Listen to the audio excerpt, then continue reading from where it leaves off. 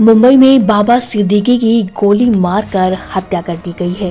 दोस्तों, आपको बता दें, एनसीपी अजित पवार गुट के वरिष्ठ नेता बाबा सिद्दीकी की मुंबई में गोली मारकर हत्या कर दी गई है। बाबा सिद्दीकी को तीन गोली लगी थी, जिसके बाद उन्हें लीलावती हॉस्पिटल में एडमिट कराया गया, लेकिन वहाँ उन्होंने दम तोड़ दिया। सिद्दीकी के बेटे जिशान सिद्दीकी के दफ्तर के बाहर गोलीबारी हुई थी। लीलावती हॉस्पिटल में उन्होंने आखिरी सांस ली। बाबा सिद्दीकी महाराष्ट्र की सियासत में बड़ा नाम है। वो तीन बार विधायक भी रहे हैं। बांद्रा ईस्ट में बाबा सिद्दीकी पर फायरिंग की गई, जो कि निर्मल नगर पुलिस स्टेशन के अंतर्गत आता है।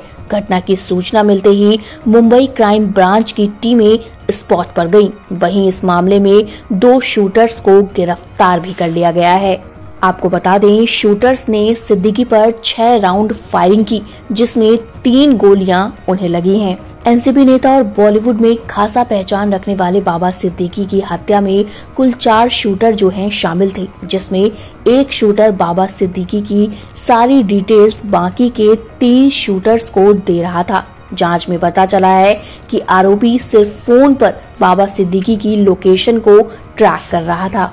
वहीं बाबा सिद्दीकी की हत्या के बाद माहौल काफ़ी तनावपूर्ण हो गया है। बाबा सिद्दीकी के समर्थक लीलावती हॉस्पिटल के सामने से हटने का नाम नहीं ले रहे। वेल, आप क्या कहना चाहते हैं इस पूरे मामले को लेकर कमेंट करके बताइए।